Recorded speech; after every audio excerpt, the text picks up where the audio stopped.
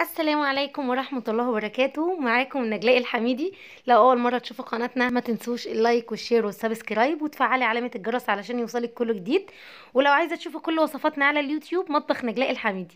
هنعمل النهاردة مع بعض السبليك الجميل ده. طبعا إحنا عملناه مع بعض مرتين قبل كده ودي الطريقة التالتة أقول لكم على الفرق بصوا بقى أنا معايا من الدقيق 650 جرام من الدقيق هيعملوا تقريبا بتاع ست كوبايات ونص. 160 جرام من النشا عاملين في حدود كوبايتين. و400 جرام من الزبدة بدرجة حرارة الغرفة تقديرا آه، كوبايتين. ورشة فانيليا و160 جرام من السكر في حدود كوبايتين. وأربع بيضات كاملين. بصوا بقى أنا هنزل بالزبدة الأول. اهو زي ما حضراتكم شايفين. الوصفة الأولانية اللي إحنا عملناها قبل كده عملناها بصفار البيض فقط مع النشا. والوصفة الأولانية خالص عملتها مع آه، صفار البيض من غير نشا. عموما التلاتة كانوا كويسين بس في فرق. النشا بينعم جدا جدا الحاجة وبياض آه، وصفار البيض في الوصفة بتبقى ناعمة جدا. بس أنا قلت أجربها المرة دي بالبياض كامل عشان كذا حد قال لي لو حطينا البياض كامل هيبقى عامل إزاي؟ أنا جربتها النهاردة أهو بالبياض كامل. لكن لو هتبصوا إحنا ضربناه كويس جدا أهو لحد لما بقت معانا هشة بالشكل ده الزبدة مع السكر المنخول ال powder هنزل بقى بالأربع بيضات. كاملين. وبعد كده هنزل برشة من آه، رشة فانيليا. طبعا لو هتستخدمي صفار البيض آه، لوحده هتحطي بس 500 جرام من الدقيق مع كل المقادير دي كلها. 500 جرام مع دقيق مع صفار البيض فقط. إحنا استخدمناهم في المرتين اللي فاتوا كده. في المرة اللي فاتت بالظبط بتاعه ال digestive لما عملته مع ال digestive وهسيب لكم ال link في صندوق الوصف تحت. آه لما استخدمته بص أنا هحط النشا هنا على الدقيق مع رشة من الملح بس كده خفيفة. وهسيب لكم ال link في صندوق الوصف تحت الفيديو على طول اللي هو عملته قبل كده بصفار البيض مع بسكوت ال digestive. هسيبه لكم وهسيب لكم ال link الأولاني خالص بتاع السابليه اللي كان من غير نشا. الفرق بقى هنا ان آه، طبعا آه، النشا بينعم الحاجة مع الصفار بينعم جدا. هنا طبعا لما حطيت البياض كله مع ال- النشا هو خلاه ناعم وكويس جدا. آه، لكن بيفرق حاجة بسيطة بيبقى أنعم قوي قوي مع صفار البيض. يبقى أنت هتستخدمي 500 جرام دقيق نص كيلو دقيق مع أربع صفار بيض مع كل المقادير اللي أنا قلتها دي بس. ده شكله أهو إحنا ما بنعجنهوش كتير ده شكل العجينة. ما بنعجنهوش كتير لما بحط الدقيق. ممكن تقلبيه بإيدك على فكرة لكن لازم تضربي السمنة مع الزبدة مع السكر كويس. مع ال- بعد كده البيض والفانيليا. وبعد كده تقلبي بإيدك. ما تعجنيش في السابليه. أنا كنت بعمله على درجة كنت عاملاه على درجة أول درجة وخفيفة قوي.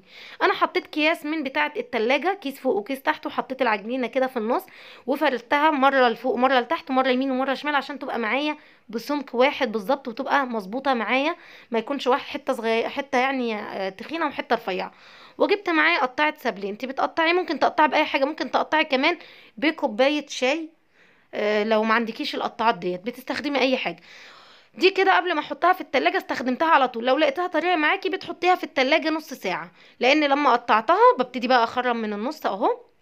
بعد واخرم من النص عشان المخروم لازم يبقى بنفس عدد اللي مش مخروم علشان لما نيجي نزينه يبقى متساويين بالظبط. هنا أنا لما حطيته في استخدمته على طول بعد ما عجنت آه، فكنت برفعها كده بإيه بسكينة أو بأي حاجة العجينة نفسها كانت آه، كانت لسه سايحة كده شوية معايا علشان طبعا إحنا في حر. لكن لما دخلتها التلاجة قعدت نص ساعة في التلاجة بقيت بشيلها بإيدي وهوري لكم لما دخلتها التلاجة وخرجتها بقيت أشيلها بإيدي بكل سهولة إزاي؟ اهي دي لما دخلتها التلاجة قعدت نص ساعة وخرجتها. اهي مسكت معايا وبقت كويسة وبشيلها بإيدي. تمام؟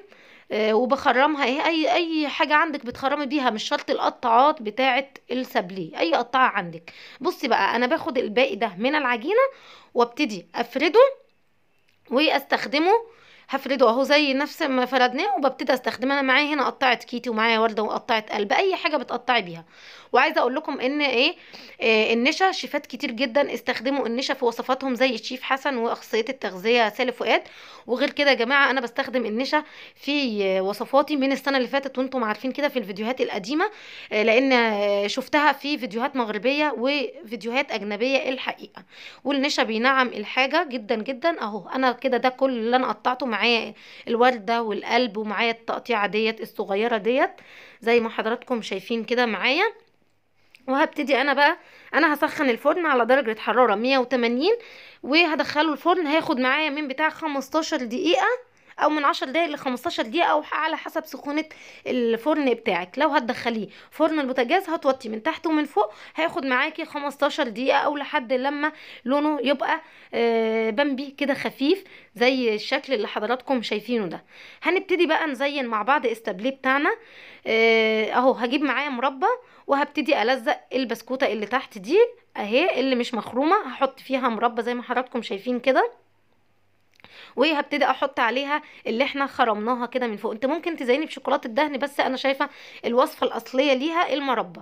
لأن السابليه الفرنسي ده يا جماعة هو سابليه هو فرنسي الوصفة فرنسية. تمام كده؟ آه، وهنحط كده زي ما حضراتكم شايفين وبعد كده هلزق كله أنا بنفس الشكل ده.